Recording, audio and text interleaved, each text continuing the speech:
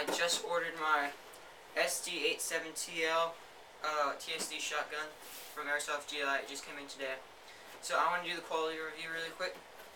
So you get the box, and then you open it up, and it comes with the guide, which I'm not going to bother looking at. Who does? The cleaning rod, this foam thing, and then what you really want, the gun.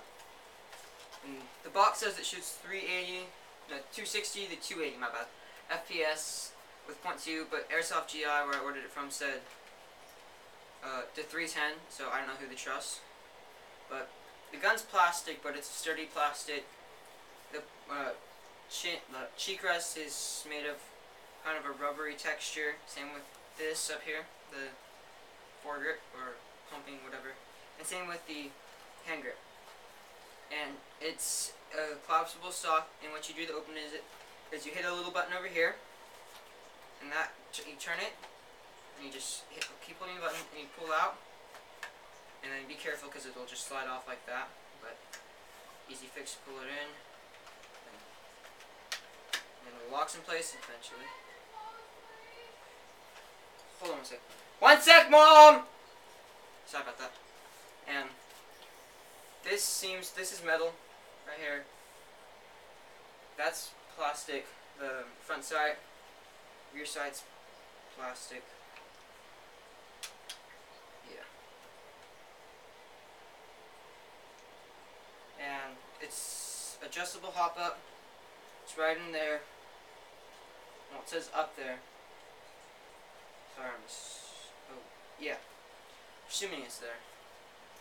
And you have a rail right here, which is made of like hard plastic. And of course you have the safety right here. And then the to put a uh, shell in there. This is a three-shot shotgun. Forgot to mention that. Shoots three bullets at a time. You open it up there and, and you put the shell in there and you just close it. Really simple. And what else came with it is you have four shells look like that. They each hold 30 BBs, so for each shell, you get 10 shots off since it shoots three at a time. And then it comes with a speed loader. Speed loader. And under the speed loader, there's probably around 200 to 300 BBs.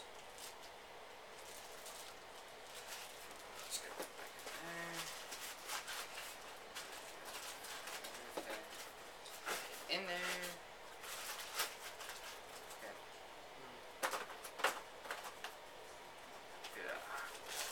There we go. A sling